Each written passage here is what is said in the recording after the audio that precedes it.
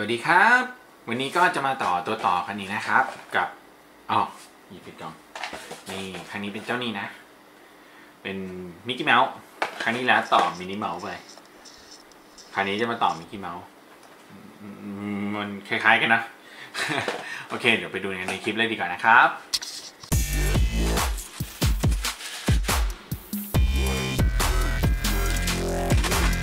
นี่นะครับภายในกล่องก็จะมีวิธีการต่อให้นะ มีทั้งหมด12ขั้นตอนนะ ก็ยังไม่รู้ว่าจะ ต่อออกมาเป็นไงนะ ลองดูเลยดีกว่า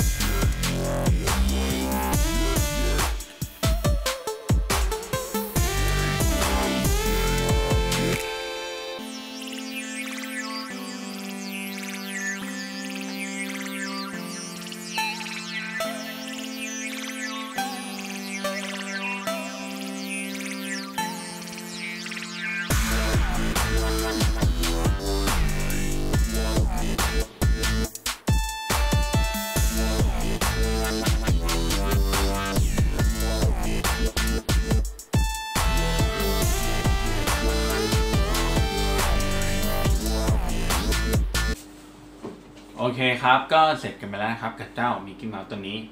เดี๋ยวผมจะเทียบให้ดูกับตัวมินนี่เมาส์ที่ต่อต่อแรกนะเนี่ยครับสเกลเท่ากันนะ สูงกว่านิดนิดนึง แล้วก็ภายในกล่องก็มีเขาบอกว่ามีบล็อกอยู่ อันนี้มีร้อยเจ็ดสิบอันนี้มีร้อยห้าสิบแต่ว่ามันก็เกินมาพอสมควรอยู่ครับ อันนี้ก็เป็นเศษเหลือที่เกินมานะครับ ก็เยอะพอสมควรเนี่ยนะ แล้วเดี๋ยวผมจะใส่ไว้ในซองยานี้ โอเค ถ้าเพื่อนๆชอบคลิปนี้ก็อย่าลืมกดไลค์กด Subscribe ให้ด้วยนะครับ ถ้าไงเดี๋ยววันนี้ลาไปก่อนนะครับ บ๊ายบายครับ